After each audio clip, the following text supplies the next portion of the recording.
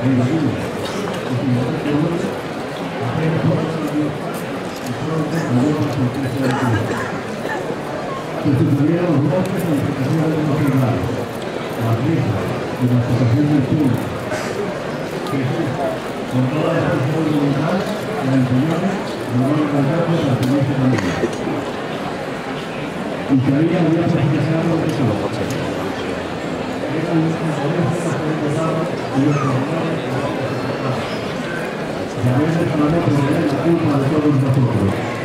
El peso de la cruz nos hace tomar conciencia del peso de necesidad, infidelidad y gratitud de cualquier acto en este barrio.